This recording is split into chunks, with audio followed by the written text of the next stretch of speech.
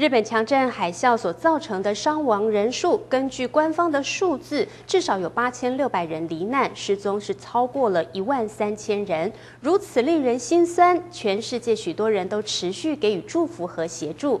在高雄一家素食咖啡餐厅，就决定呼应慈济所发起的木心木爱活动，把餐厅一个月的营收全部捐给慈济，作为日本赈灾之用。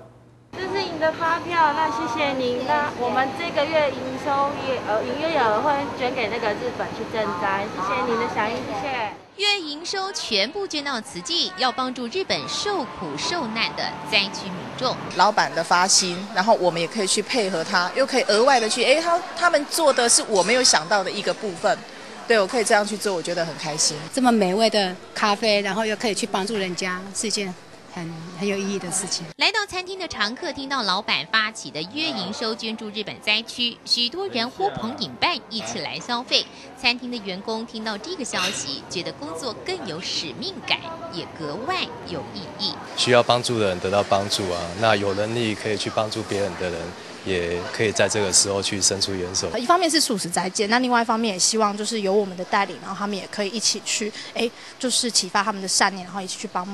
帮忙就是日本的灾民这样。素食咖啡厅响应慈济为日本木心木爱，除了推广人人素食斋戒外，也期望抛砖引玉，让更多企业和社区民众一起行善付出。大爱新闻赵培婷、王昭忠高雄报道。